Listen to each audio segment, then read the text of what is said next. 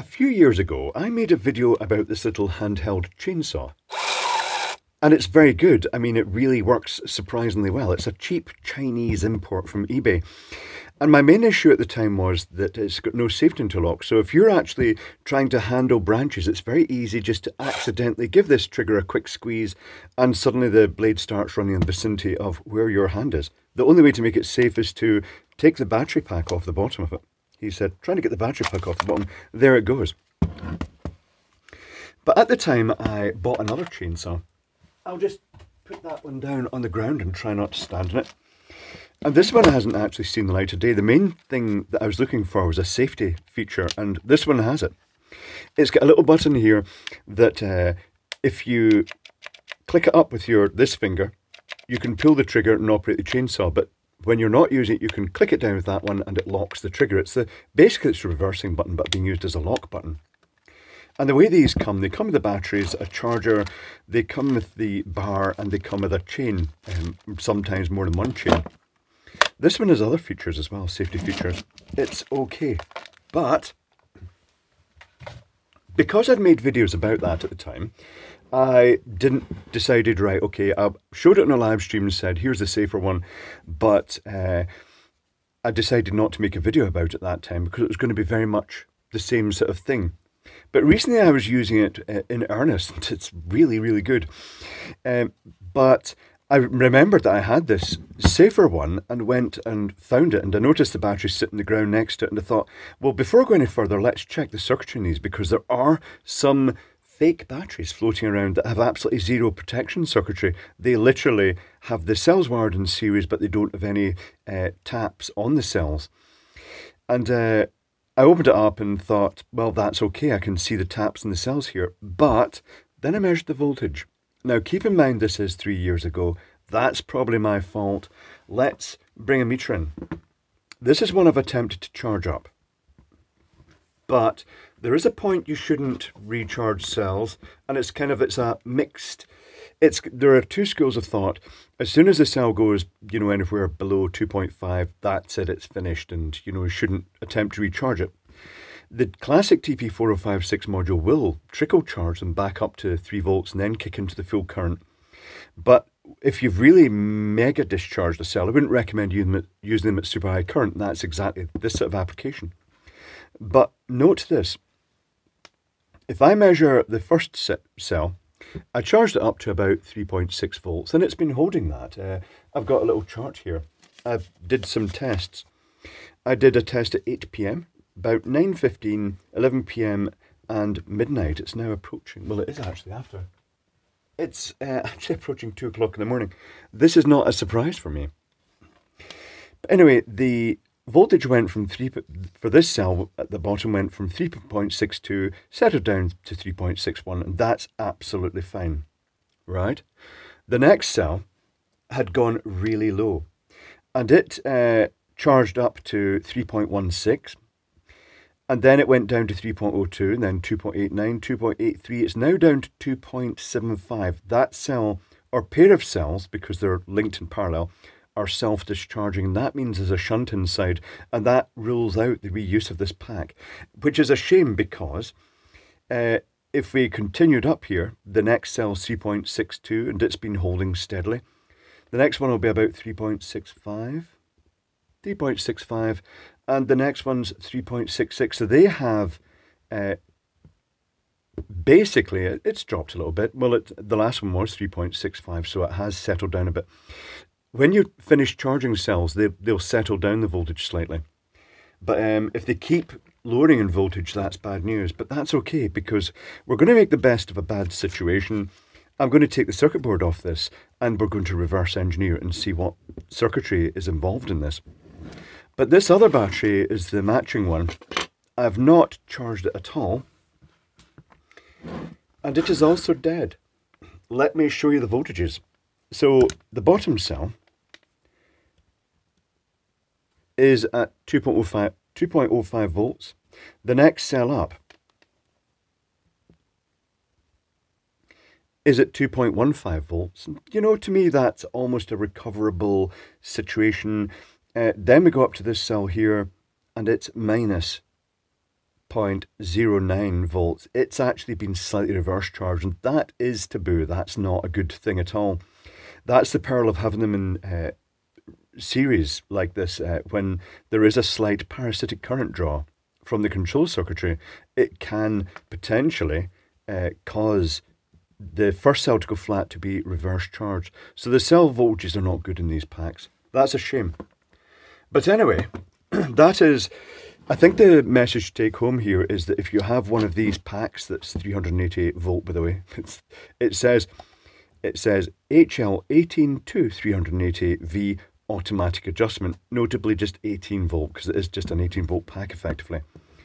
But I think the main takeaway from this is that as soon as you get these, you should charge them and just at least once a year top them up. Just make sure, if you're not using a tool in a long time, just make sure you just top the cells up every so often. Just keep them, keep them active, because uh, otherwise, if the voltage goes too low, it does damage lithium.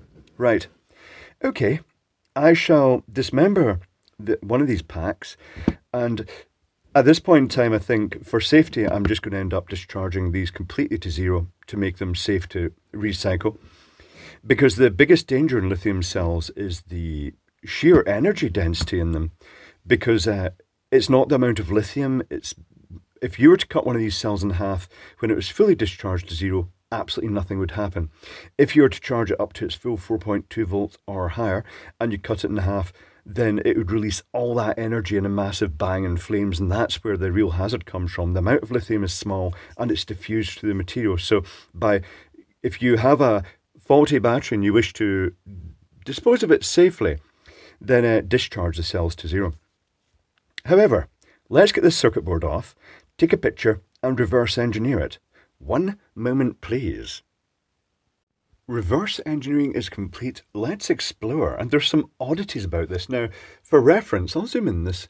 Uh, for reference, I did put a slight charge into the other um, battery pack on my bench power supply. And I raised the voltage of all the cells. The one that was lagging behind, the one that had this slight negative voltage, wasn't taking much of a charge.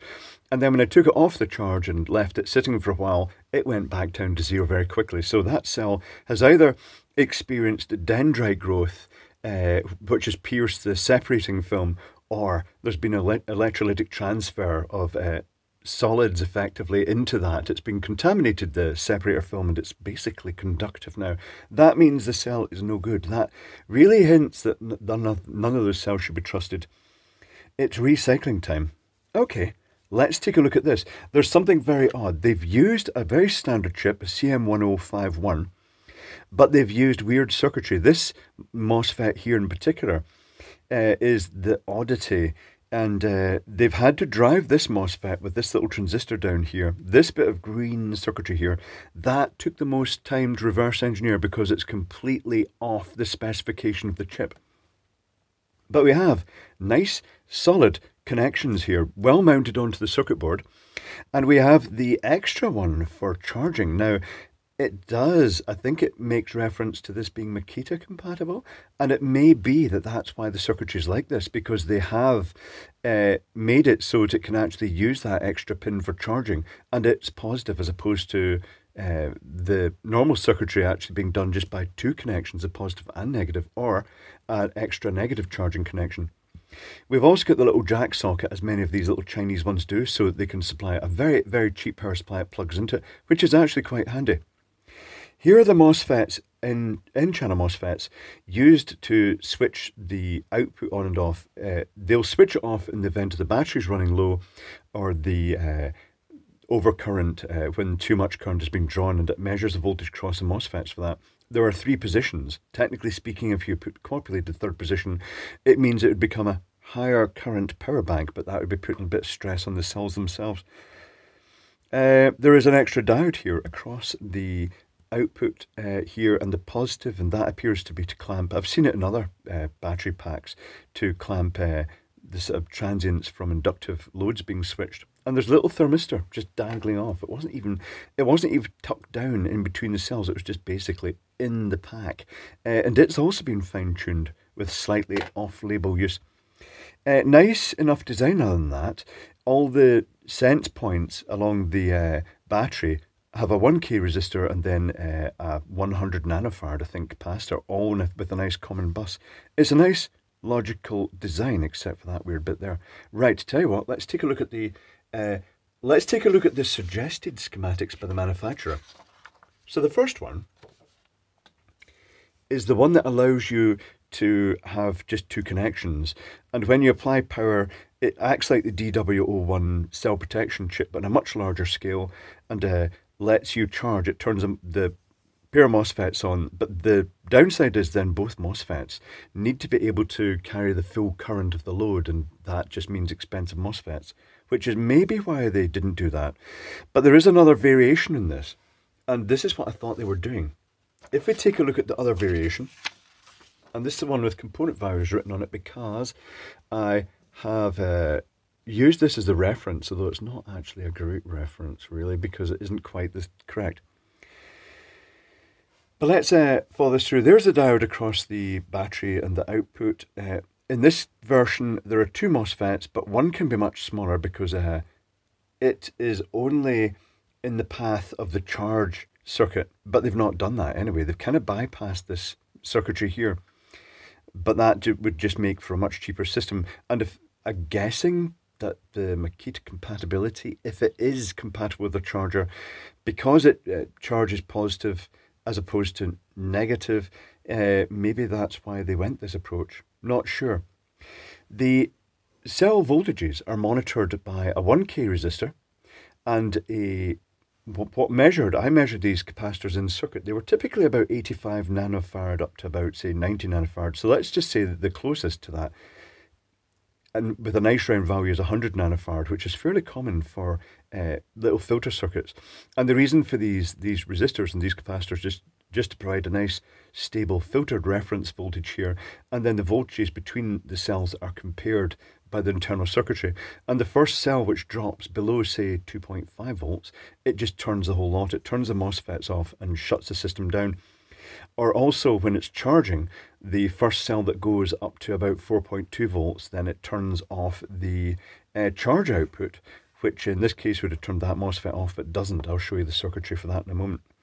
The thermistor has a divider, and it's notable that it can switch on and off, presumably here, RTV, um, resistor temperature voltage reference, or it might be a fixed voltage reference, but it may be able to turn it on and off just so it samples it every so often.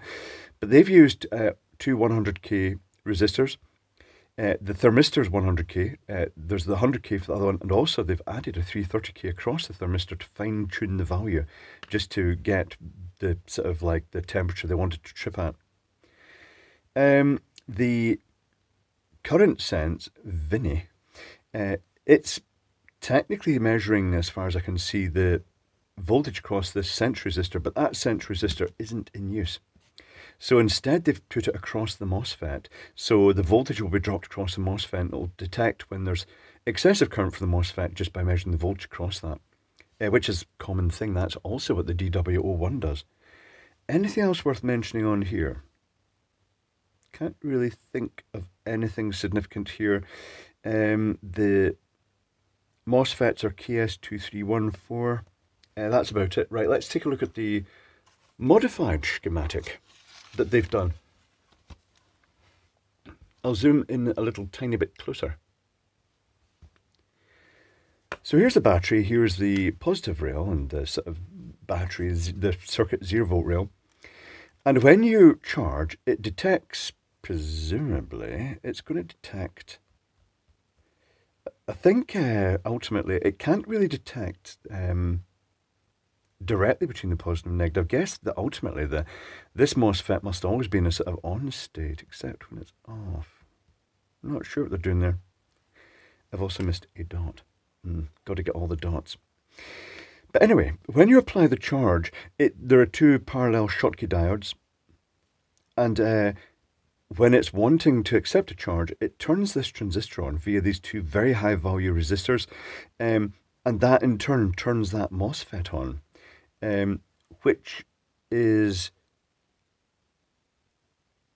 able then to switch the positive charge voltage up to the positive rail.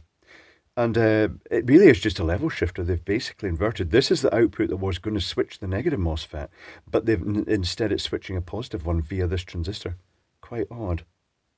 I would have to look at the Makita charging system to actually work out what they've done there.